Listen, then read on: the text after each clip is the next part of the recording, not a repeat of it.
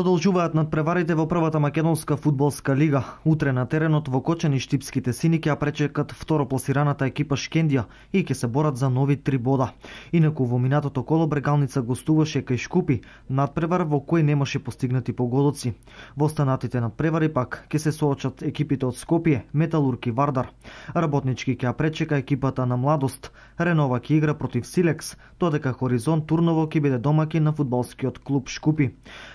Надпреварите од 13-тото коло ќе се одиграат утре со почеток од 13 часот и 30